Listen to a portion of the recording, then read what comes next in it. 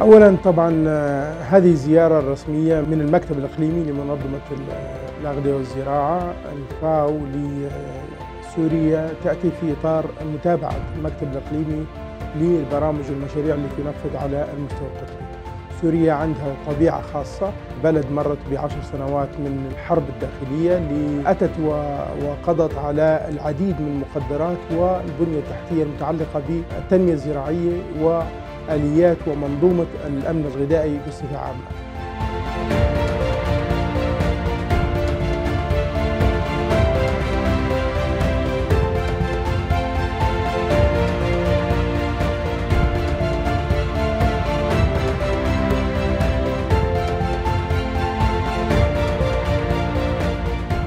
من المشاريع اللي لها أثر فعال أتدرج أنا في أولوياتها. أول مشروع هو إعادة تطوير وتأهيل المنظومة المائية قنوات الري. لأنه الأثر كبير جدا.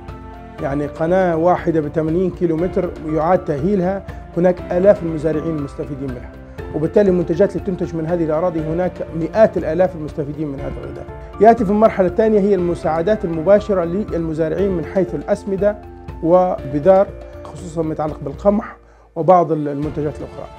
هذا من الأشياء المهمة لأن إحنا نتكلم على فئة من المزارعين هجروا الأرض ورجعوا ولم يجدوا شيئا في الأرض، لا بذور ولا أرض ولا أسمدة، فبالتالي هم محتاجين. الماء وحده لا يكفي وهو مكمل للمرحلة الأولى ولكن يجب أن يتوسع ويجب أن نضع آلية مع المسؤولين في الدولة لوضع تدوير ذاتي لموضوع الحبوب بشكل سنوي.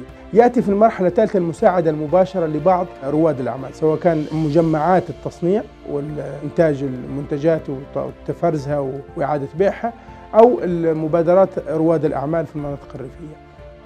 أثبتت هذه المشاريع قدرتها الكبيرة على إعادة توطين هؤلاء النازحين في المناطق الريفية وبالتالي بث فرص وأمل الحياة مرة أخرى في هذه الأماكن وهذه المناطق وإعادة فتح فرص العمل وفرص العيش الكريم لأصحاب هذه المنطقة.